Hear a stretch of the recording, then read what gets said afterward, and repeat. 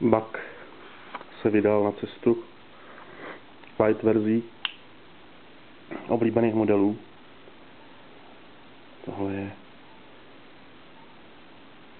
známý Ranger 112 se střenkama z jakýhosi listovaného papíru či čeho.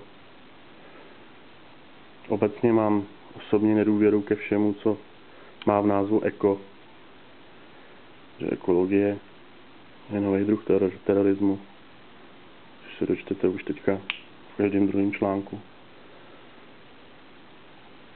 Nicméně tady to není nic proti ničemu.